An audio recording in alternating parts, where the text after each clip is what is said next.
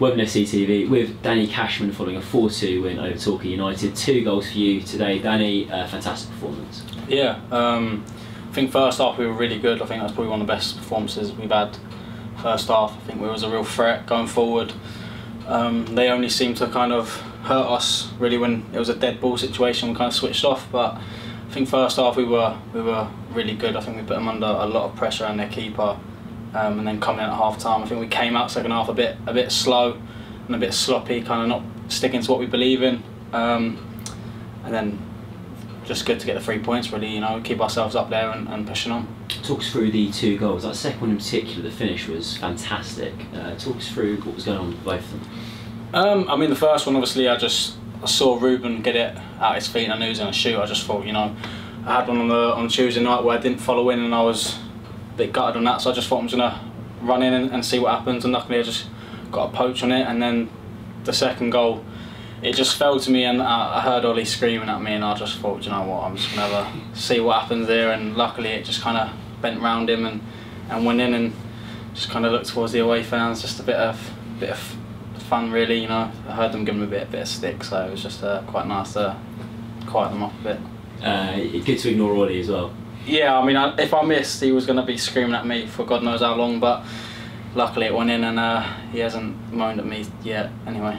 We've been chatting a little bit with Ollie recently about the partnership you guys have formed, uh, that forward line. How are you, from your perspective, how are you finding everything? It seems like you guys are really clicking. Yeah, I mean, obviously when I was first here a few years ago, me and him linked up really well, so I knew that we were going to be on the same kind of wavelength. Obviously, he's a he's a goal scorer. Do you know what I mean? He, he will always score goals. That's just what Ollie does, and he's arguably the best striker in the league, and that's you know his, his stats speak for himself. Not just this year, but since being at Worthing. Um, so you know once it's going to come to him, he's going to put it away eventually. Uh, he, he doesn't need more than more than two chances. So I think we, we know what each other likes doing and what we're, we're good at and what our weaknesses are. And um, you know we probably had a bit of stick at the start of the season for taking our time to gel, but you know things take time and I think as a team, it's taken us a bit of time to, to come together to understand what each player likes, and you can see that now. I think with the performances, we we're dominating dominating every week, and and most importantly, we're getting the results. Yeah, how are you finding it uh, coming in a little bit into the season for you, coming in in September? How have you found gelling into the squad? Do you feel like you're fully adjusted now? Yeah, I think you know. The main thing for me was to be happy again. I think once I'm happy, that's when I play my best football. And coming at the start, I think it was more about getting fit rather than worrying about performances and, and goals, which was obviously frustrating me at the start because it took me a while to, to get my first goal. And ultimately, I, I want to score as many goals as I can and, and get assists and help the team. But I feel like now I'm kind of confident again that I can trust my ability and I love the way that we play.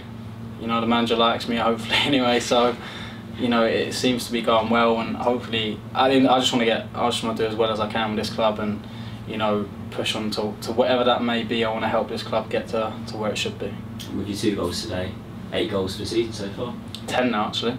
Oh, including the cup. Ten. Yeah, ten including the cup, but eight in the league. So.